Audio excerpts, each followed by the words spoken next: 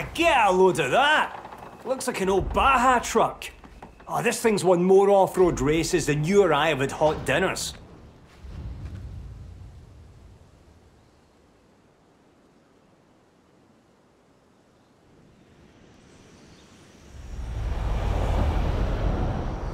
Needs new tyres, probably new suspension.